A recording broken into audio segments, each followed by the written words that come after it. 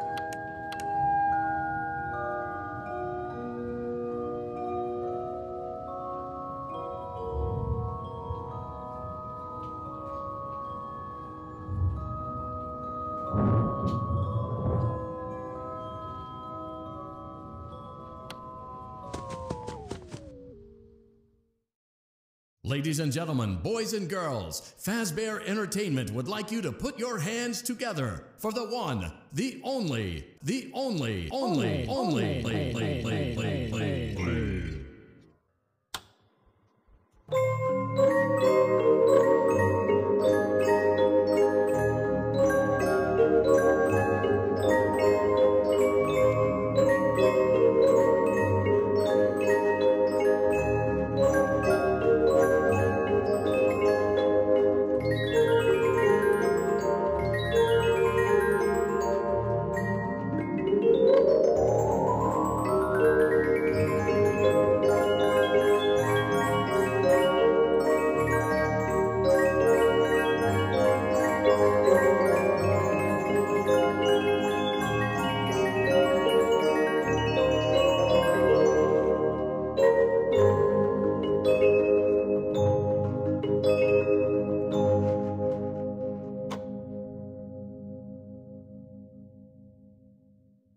Congratulations on completing the Freddy Fazbear virtual experience. You did an amazing job.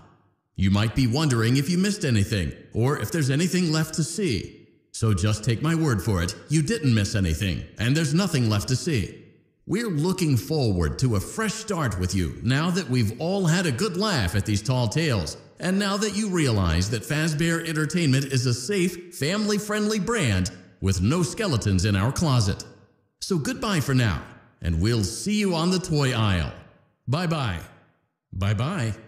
Bye bye. Bye bye. Take care now.